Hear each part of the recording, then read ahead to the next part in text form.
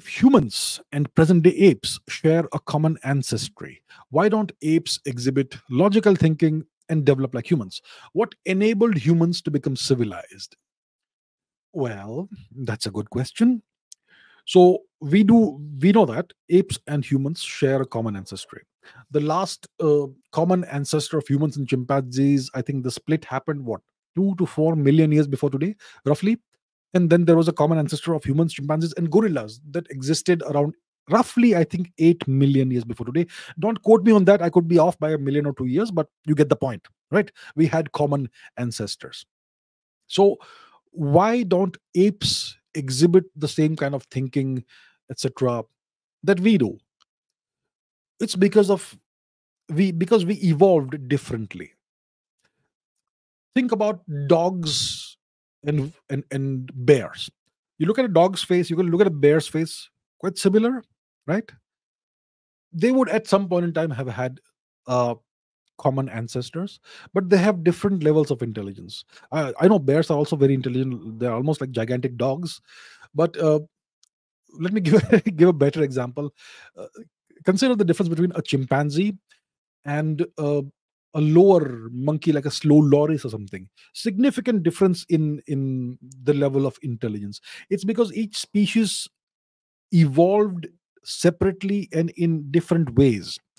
In the past you did not have air travel you know train travel all that stuff. So you could not travel long distances. It was very hard to travel long distances on foot. So when populations got split off for whatever reason they evolved for millions of years separately. And wherever you evolve, there are different sets of parameters, uh, different sets of climatic and geographical conditions, different kinds of foods that's available, and so on. And because of that, the the species evolved differently and acquired different characteristics. And I think it was because of whatever accident of nature that we evolved the way we did. Our brains became much larger. We became mostly bipedal chimpanzees and gorillas can still crouch and you know walk on all fours. We are exclusively bipedal creatures. And when you become bipedal and you stand up on two feet then you the your eyes are much higher from the ground than for example that of a cat or a dog.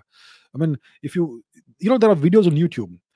People some some people attach gopro cameras or small cameras to the collars of cats and all and then you can see the world from their level and you can see how much closer to the ground it is and how much how less information is accessible to the eyes at that level. But when you're higher up i mean think of it you go to the top of a 100 100 story building and see how far you can see and how much information is available to your brain just through your eyes.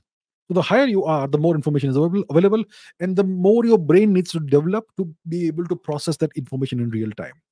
So because we became bipedal exclusively bipedal our brains had to adapt to this postural change and grow larger to be able to uh, absorb and process more information, much more information in real time.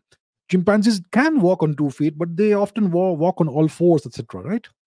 And so, because of the different ways in which we evolved, we we acquired different levels of intellectual abilities and uh, different levels of intelligence.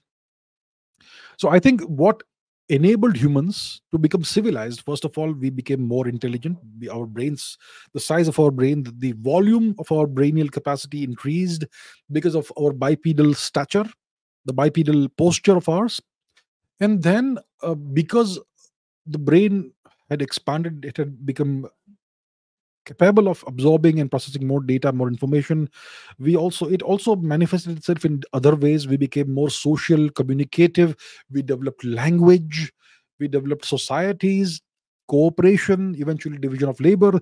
Then we eventually discovered fire and so on and so forth. So these are the processes by which processes and agriculture and then civilization. So these are the processes by which we, we became way more civilized than apes.